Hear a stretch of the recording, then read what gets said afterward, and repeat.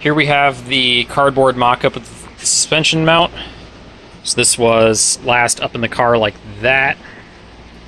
Uh, and here we have the real one for the other side. So that sits like that in that corner of the car. We've moved the we've moved the mounting point from there to there so that it gives a little bit of extra travel in the suspension and then just welded it all around.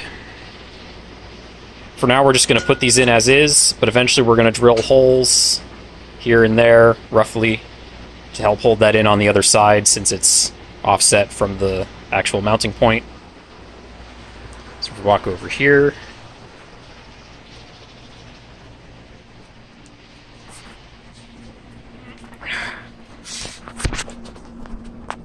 here it is mounted up.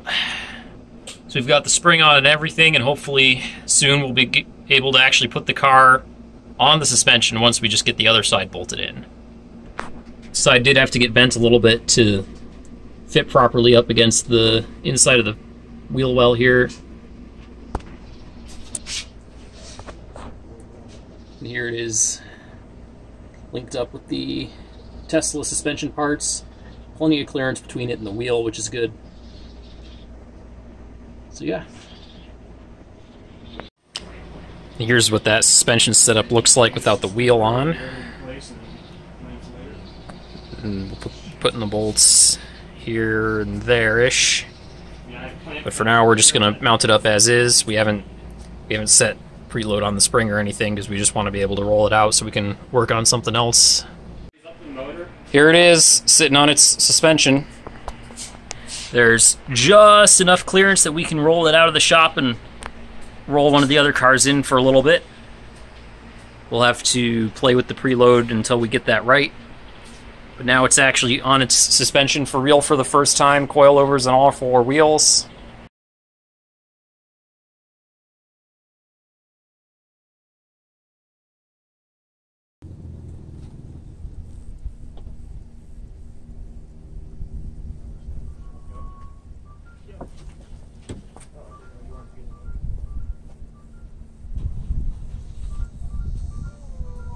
Hold on, Nick. You gotta. Oh, we gotta turn.